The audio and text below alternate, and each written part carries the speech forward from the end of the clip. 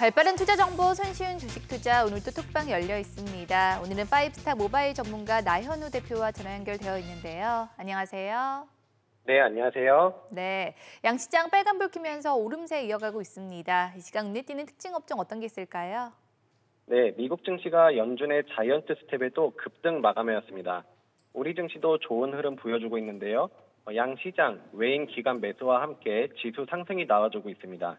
어, 오전장은 골고루 상승하는 가운데 2차 전지 섹터가 좋은 흐름을 보이면서 코스모신 소재, 일진 머티리얼즈, 대주전자 재료 등 2차 전지 소재 관련주들의 상승이 나와주고 있습니다.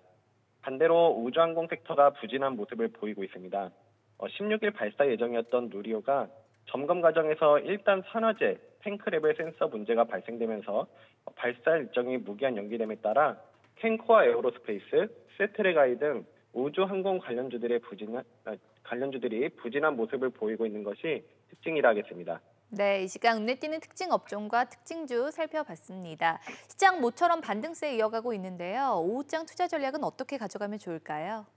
네, 이번 연준의 75 basis point 인상을 통해 어느 정도 불확실성을 해소했다고 볼 수 있겠습니다.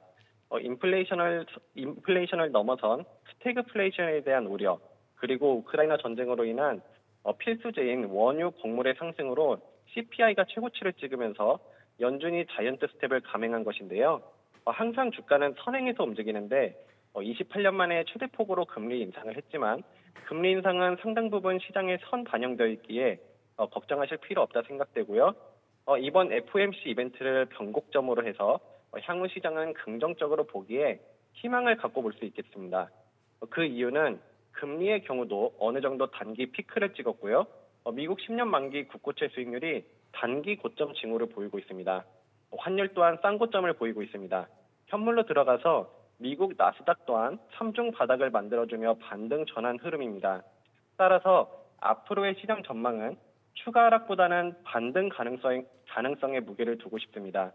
낙폭 성장주를 계속 강조드리고 있는데요. 어, 많은 종목들이 낙폭이 과한 상황에서 펀드멘탈이 받쳐주는 낙폭 성장주를 저점 기회로 보시고 관심 갖는 전략 좋아 보입니다.